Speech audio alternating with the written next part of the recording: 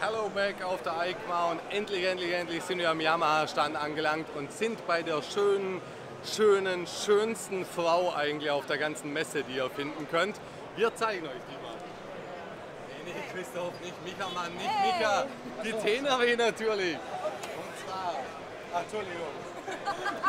oh, scheiße. Yeah. Okay, wir machen trotzdem weiter. Also es geht um die neue Tenerie 700, die World Raid Edition sehen wir hier ist ein bisschen die verschärfte Version von der Yamaha Tenere 700, die ganz neu rauskam, die ihr auch hier oben stehen seht. Von dem her. Ähm, bei der Tenere 700 Broadway Edition handelt es sich um eine ein bisschen aufgepimpte Version, ähnlich der R-Version wie bei KTM. Und ich muss sagen, es ist definitiv eins der Bikes, die mich am meisten flasht auf der EICMA. Nicht nur, weil ich selber aus dem Enduro-Sektor komme, sondern halt einfach, weil Yamaha irgendwie auf die Kunden gehört hat und zwar besser als alle anderen Marken weil wir vorher schon mit dem Yamaha-Chef gesprochen haben, den wir hoffentlich nachher auch noch kurz interviewen können.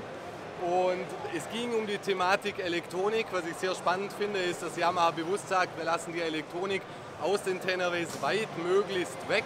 Jetzt mal abgesehen von dem TFT-Display, ähm, das aber auch nicht unbedingt benötigt wird, um irgendwie ans Ende der Welt zu fahren. Aber sie lassen die Elektronik bewusst weg, damit man eben die Möglichkeit hat, dieses Bike überall auf die Schnelle auf der Welt schnell zu reparieren, kostensparend zu reparieren und auch definitiv eine Gewichtsersparnis hat, was mich sehr, sehr gefreut hat. Kommen wir bei der Tenere mit einem 16 Liter Tank, mit einem vollen 16 Liter Tank, knapp unter 200 Kilo und das finde ich richtig cool, weil da macht es auch definitiv einen Sinn, von dem großen Adventure Tour ein bisschen down zu graden auf einen kleineren und dafür auch noch an die letzten Ecken der Welt zu gelangen. Wir sehen uns die Tenere mal ein bisschen mehr im Detail an. Was mir sehr, sehr schön gefällt, ist, man sieht auf dem Fender vorne, dass man mit den Schrauben, hier jetzt nicht bei der World Rate Edition, bei der Originalen sieht man es, kann man hier noch die Schrauben höher stellen, sprich den Fender automatisch ein bisschen erhöhen. Unglaublich praktisch, wenn man irgendwie durch den Matsch fährt oder man den Fender ganz weglassen will, weil man einfach nur durch den Sand durchbrettert. Auch extrem schön finde ich, dass auch die Standardversion diese wunderschönen blau eluxierten Felgen hat, was mir persönlich extrem gut gefällt. Äh, auch die Carbon-Teile von der Tenere World Rate beziehungsweise die Carbon-verzierten Teile, weil es sind keine Original-Carbon-Teile, aber die Verzierung macht doch einiges was her. Und was ich ganz, ganz cool auch finde, bei der Tenere dann, wie sie rauskommt, ist die Sitzbank geteilt. Das heißt, den hinteren Teil kann man wirklich abnehmen und nur noch Gepäck draufladen. Sieht man bei der World Raid Edition jetzt leider noch nicht. Zeigen wir euch nachher vielleicht dann kurz beim Interview bei der Originalen noch.